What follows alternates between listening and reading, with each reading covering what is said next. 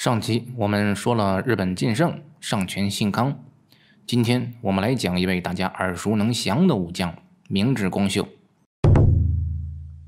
明智光秀生于一五二八年日本美浓国明治城，通称石兵卫。父亲是明智光纲，在光秀年幼时期就去世。后来光秀在他的叔叔明智光安的照顾下长大成人。长大后的光秀侍奉美浓国国主斋藤道三，道三由于非常偏爱自己的两个小儿子，因此就引起了长子斋藤义龙的不满。于是，在一五五六年，斋藤义龙起兵攻杀了自己的父亲斋藤道三。而由于明治家是站在道三一边的，因此在战后，斋藤义龙迅速将明治城攻破，明治家灭亡。二十八岁的光秀便开始了流浪生活。希望寻得明主，重新复兴明治家。据说在数年间，光秀一家一直过着非常拮据的生活，连一日三餐都经常解决不了。有一天，家中有重要的客人来访，这下把光秀都愁成了秃子，没钱呐，拿不出像样的料理来招待贵客。可是呢，当自己的妻子西子酱把食物端上来的时候，光秀大吃一惊。都是自己平时吃不起的美味佳肴。在招待完客人之后，光秀急忙去问西子：“这些昂贵的食物是哪里来的？”西子不慌不忙地将自己的头巾摘了下来。光秀一看，顿时热泪盈眶。妻子那一头乌黑亮丽的长发已经变成了短发，很显然，西子是将自己的头发剪下拿去卖掉了，这样才买回这些食物。光秀内心非常感动。据说此后的光秀，即使成为大名，也没有纳妾，一直与西子伉俪情深。之后，光秀来到了月前招仓家出仕，可是没有得到当主招仓义景的重用，一直被冷落。直到一个人来到了月前，命运的齿轮才开始被波动。一五六五年，著名的剑豪将军足利义辉被松永久秀和三好三人众合力攻杀。议会的弟弟足利义昭逃出京都，为了给兄长报仇，并且夺回将军的位子，足利义昭辗转多处求援，最终来到了月前，想要寻求朝仓义景的帮助。可是朝仓义景由于自身实力不足，并不想帮义昭上洛，于是长期滞留在月前的义昭和一直不得重用的明智光秀便走到了一起。光秀认为，只有找一位实力不凡又敢于进取的大名，才能帮助一招。而当时杀出的战国黑马织田信长，正是不二人选。于是，在一五六八年，光秀以足利义昭家臣的身份，与义昭一起从朝仓家出走，前往尾张面见信长。在光秀的斡旋之下，信长成功被说服，决定拥立足利义昭为将军，起兵上洛。而信长也对光秀格外看重，非常认可他的才能。于是信长请求一朝将光秀放在自己帐下，足利一朝应允。于是光秀在作为足利家家臣的同时，出仕于织田家。这一年，光秀四十岁，信长三十四岁。很快，大魔王在美浓起兵，一路势如竹破，仅用半个多月的时间就成功上洛。让足利义昭稳坐将军的位子。光秀由于上洛期间有功，与丰臣秀吉等一起被任命为京都奉行。信长建立起了掌控将军的织田家政权。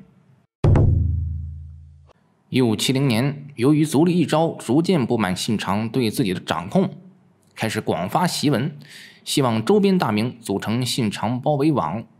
这样一来，同是二主的光秀左右为难。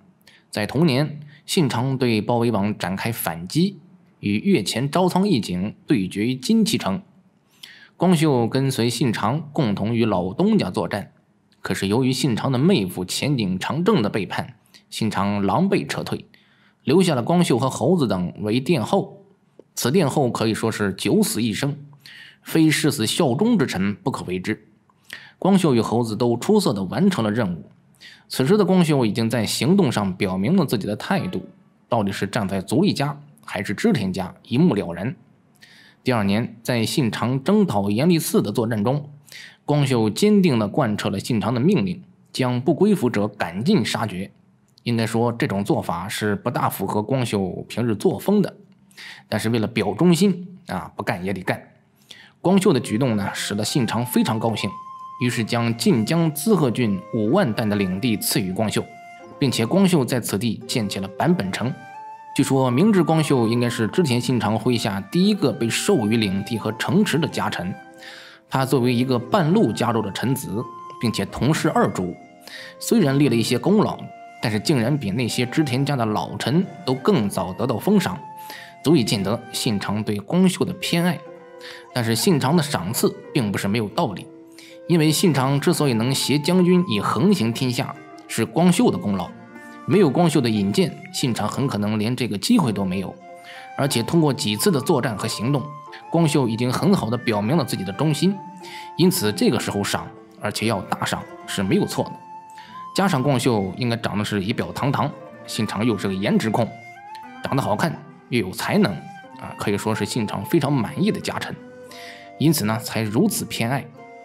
一五七二年，眼看信长包围网就要完蛋，将军足利义昭坐不住了，亲自起兵与信长对抗。光秀此时正式宣布脱离足利家，保留织田家家臣的身份。足利义昭根本不是信长的对手，很快就遭到了流放，室町幕府至此灭亡。随后的光秀对信长鞠躬尽瘁。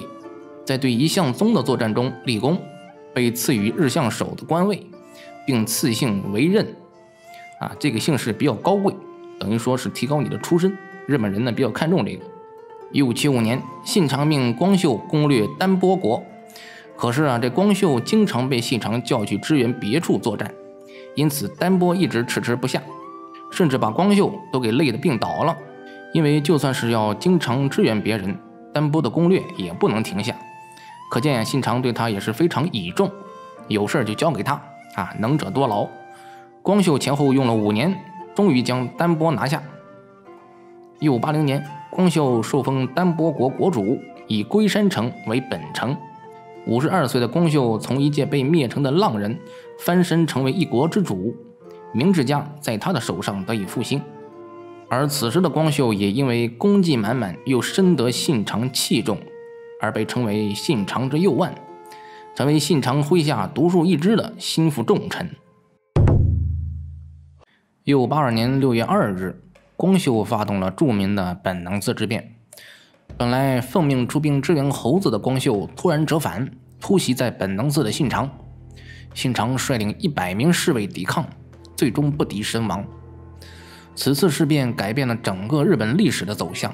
但是如此重要的事件却是迷雾重重，直到今天，人们都无法确定光秀发动叛变的原因是什么。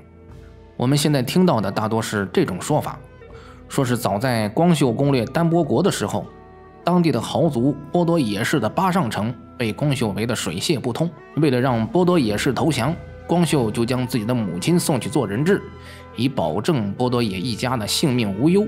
可是由于这波多野家是降而复叛。信长认为不可信，于是就将前来请降的波多野秀治给宰了。这样一来，光秀的母亲就被牵连，在八上城被杀。光秀开始怀恨在心。后来织田家将武田家打败，信长为了庆祝，召集众家臣开酒会。因为击败了强大的武田家，天下唾手可得。信长这正美着呢，光秀不揣冒昧说了一句：“这都是我们的功劳。”结果信长暴怒。当众对光秀拳打脚踢，甚至让小姓森兰丸用铁扇子扇他。那意思啊，明明都是本魔王的功劳啊，跟你有什么关系？后来在本能寺事发前夕，信长在安土城招待小弟德川家康，光秀负责招待事宜。结果宴会上的鱼不新鲜，信长再度暴怒，又是一顿揍。最后在命令光秀出兵支援猴子的时候，信长下令收回了光秀所有的领地。让他移封到出云国和石见国，但是这两个地方是毛利家的地盘，等于说你得自己去打下来，要不你就没有领地了。综合这些怨恨呢，光秀忍无可忍，终于发动叛变。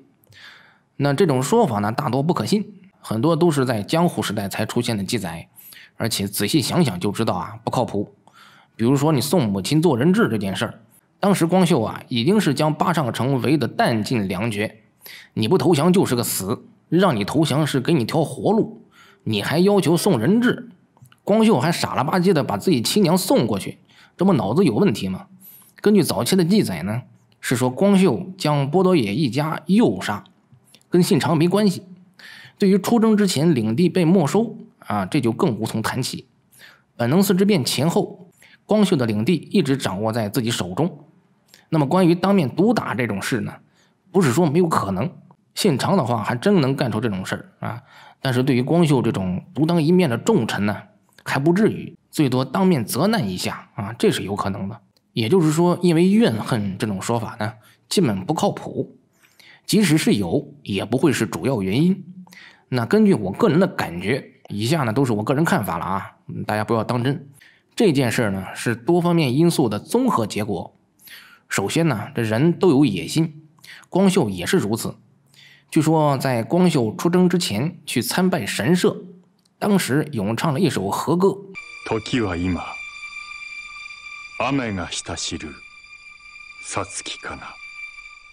翻译过来，大体就是今日时节细雨纷飞的五月天呐。